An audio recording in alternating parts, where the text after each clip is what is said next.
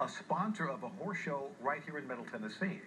The World Versatility Show continues through this weekend in Murfreesboro. It's put on by the Tennessee Walking Horse Breeders and Exhibitors Association.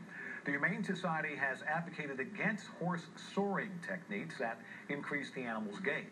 But they say this show does things right by having an inspector certified by the Department of Agriculture.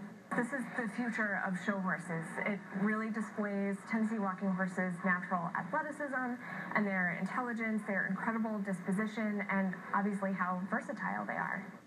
The show is also imposing some new penalties for any contestants found to have abused horses, but critics say the Humane Society is only singling out their animals, and the walking horse trainers have taken their own steps to clean up the industry.